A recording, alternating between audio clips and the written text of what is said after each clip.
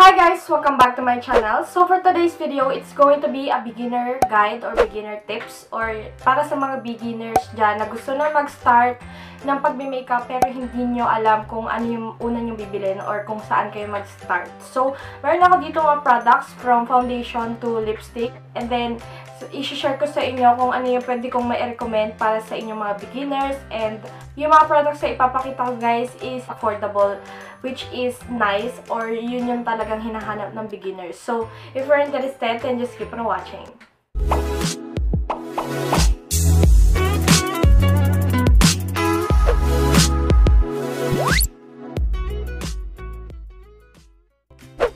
So I'm going to start with the base. So, meron ako ditong dalawang pwedeng i-recommend sa inyo, which is this. This is the BB cream, or yeah, BB cream.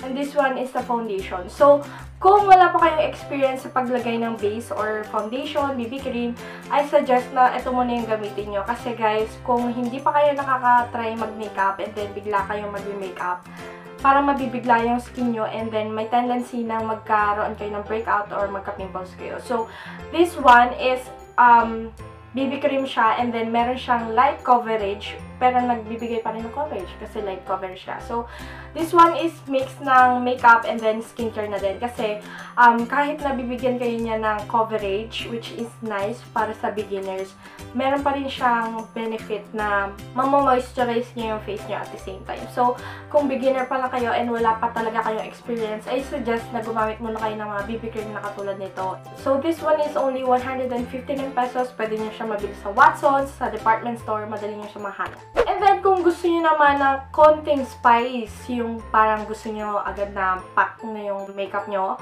I suggest na bumili kayo or I suggest this Maybelline Fit Me Matte Plus Poreless Foundation. So, ito yung suot ko ngayon. As you can see, medyo plakado naman siya. Pero, um, ang maganda sa kanya is lightweight siya or parang hindi mo mararamdaman na may makeup ka. Makakahinga pa rin yung balat mo, pero meron siyang coverage. Medium to um, light to medium coverage. So, for beginners, not bad. Uh, this is only um, 299 or 399. I'm not sure, pero yung Maybelline counters, madalas sila mag-sale, guys. So, magandang, maganda yun. Okay.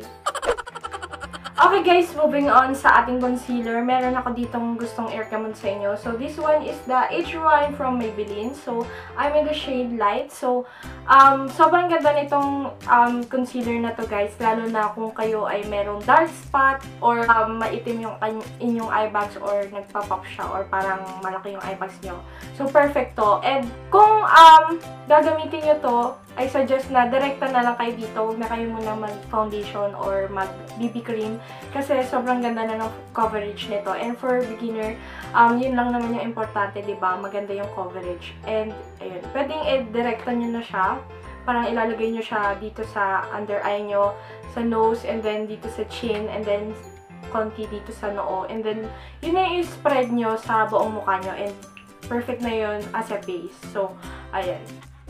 Okay guys, so syempre after all that, kailangan nyo siyang iset. And for that, ang pwede ko i-recommend is the Nichido Two-Way Cake in the shade beige or I'm in the shade beige. So, etong powder na to, ginagamit ko na to since college pa lang ako. And sobrang ganda niya, namamattify niya talaga yung face ko. And actually guys, ito lang yung nilalagay ko sa face ko noon. Hindi ako naglalagay na kung ano-ano.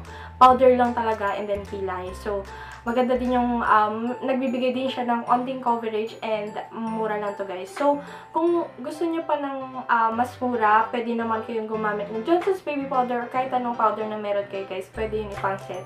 Basta powder siya and nag-work siya sa inyo. So, Okay, and then after that guys, bubo na tayo sa eyebrows. And marami tayong mga local brands na nagtitinda na magagandang pang eyebrows.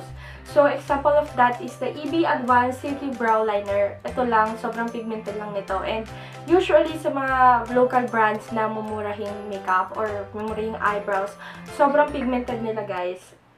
And hindi ko alam kung disadvantage or advantage yun para sa beginners. Kasi for beginners, syempre yung kamay natin medyo mapigat pa kasi hindi natin alam kung gano'n siya ka-pigmented. Pero yun lang, maganda to kung magsisimula pa lang kayo kasi pigmented siya and um, tipid siyang gamitin. Yun nga lang, medyo dapat magaan lang talaga yung kamay nyo kapag i-apply nyo to. So, this one is only 100 pesos, pero marami dyang um, mas mura.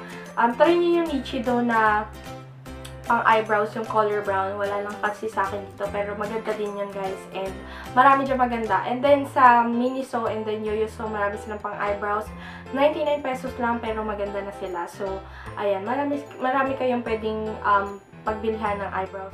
Okay, moving on. Um, Siyempre, kapag beginners kayo, kailangan yung magkaroon ng curler. So, eyelash curler to. And marami kayong mabibili nito sa Watsons na affordable. I think merong nasa 80 pesos. And this one is, I think from Nichido. And college pa lang ako guys, ginagamit ko na to and buhay pa rin siya ngayon. So, ayan, kailangan nyo to para uh, kahit wala kayong eye eyeliner, maganda yung effect ng mata nyo kapag naka-curl yung lashes.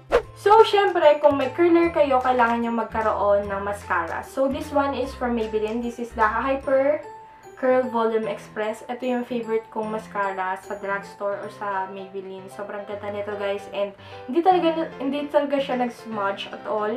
Um, yun nga lang, mahirap siyang tagalin. Pero, hindi ko alam kung disadvantage yun or advantage. Pero, as a beginner, mura lang to, 199 and perfect to, hindi to nag-smudge. So, ayan.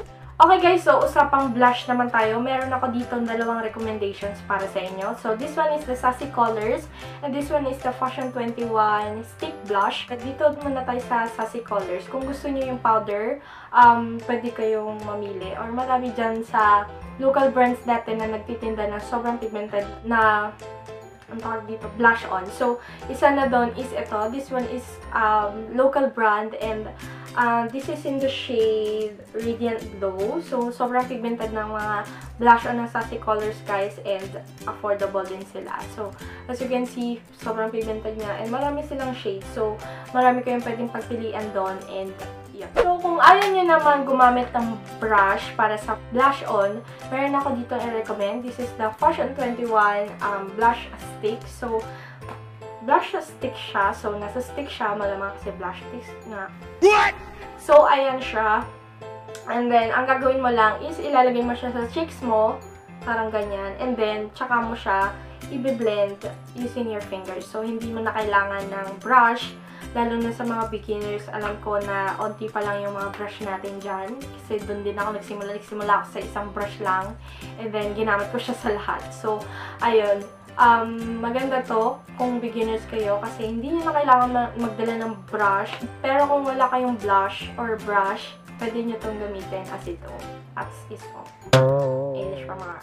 Okay guys, we're done with the last part. So, um, usapang lipstick naman tayo or lip tint. So, ano nga ba yung mga um, beginner-friendly na makeup para sa ating lips? So, I suggest na gumamit muna kayo ng lip and cheek tint, guys um, huwag na muna kayo mag-lipstick, pero nasa sa inyo pa rin yan. Pero, as a beginner, um, mas comfortable kasi kapag naka-lip tint ka lang, kasi hindi mo, hindi mo talaga siya mararamdaman.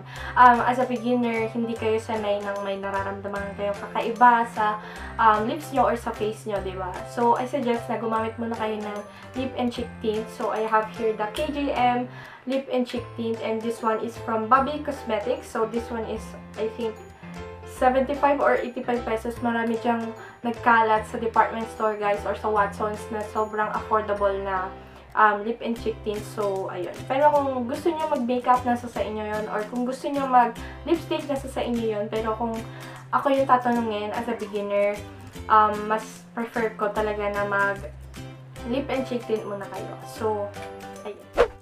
So, that's it guys for our beginner guide. Sana natulungan kayo nitong video to. And kung nagustuhan nyo, don't forget to like, comment, and subscribe to my channel. And kung hindi pa kayo part ng aking hashtag Spam dito sa YouTube, please subscribe and click the bell button beside para ma-notify kayo every time nag-upload ako ng bagong videos na katulad nito. So, let me know din guys kung gusto niyo yung mga videos na katulad nito kasi kung gusto niyo gagawa ko ng um, iba pa or mga guides, mga ganon. So, um, yun lang. Thank you guys for watching and I'll see you on my next one. Next one.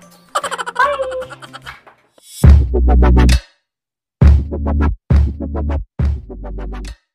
So, shoutout nga pala kay Diana Radillas, Robilyn Lasida, Pamela Villar, Hey Hazel, and Jamie Nieves.